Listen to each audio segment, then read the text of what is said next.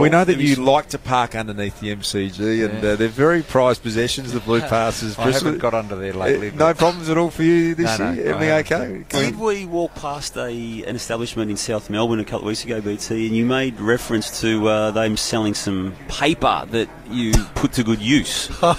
Damo. Did, did you? Damo. No, Me I don't know what you're talking about there, and whether you're talking about the Herald Sun or what you're talking about. I've got Very, no idea. very rare to get warned off in the Triple M box. In fact, I reckon out Stand of the down, seven Daz. years that I've been, I don't think I've ever seen anyone have a big shake of their head and just do not go there. Uh, Damo. Stop talking to Tell me. you if you want to, if you want to catch some blues with the media guys coming into work, go to Gate A on any day there's a game on at the MCG, and just sit there with your camera. And there'll be someone like the duck comes in. He's got no pass or anything, and he just, you know, the faces his passes. He always says the duck. It's just horrific. There, some of the stories they get on Gate A is incredible, When they find some, some shotgun pellets or Oh. casings in your which car is possible. I mean, because you need to use it Yeah, on your oh, property for, for legitimate it all the reasons. Yeah, I'm not yeah. suggesting I anything mean, untoward there, but the head I of the AFL's a farmer, Gillon McLachlan.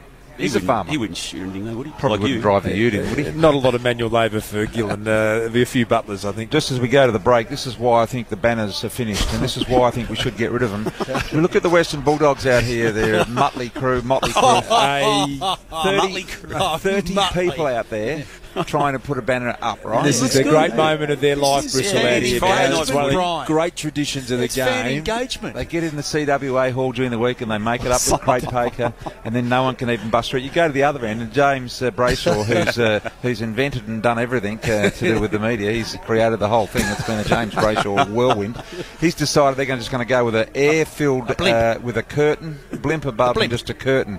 And look at the poor old North Melbourne. Only six or seven of them get to come We on don't the need ground. as many people with the with the air conveyance there, BT. It's Get not, rid of the not as lot many of required. this, this is a reason we could have a block of concrete on each end of the uh, blimp down there, and that would hold it. No problems at all. We could get all of these. Bull- I mean, players can't get on this ground, Damo. They're not allowed let to on it. Let them have their moment, BT. It's, it's special to them, and, and you know that the people who have supported that club, the Bulldogs, Look at them all. Do we need all of them deserve out there? Something. Does it take that many people to lift two 4B2s with a bit of crate paper attached to it? But does it hurt you for them to be out there? Oh, I've had enough, sort of. he, doesn't like kids. He doesn't like supporters. He doesn't like banners. Yeah.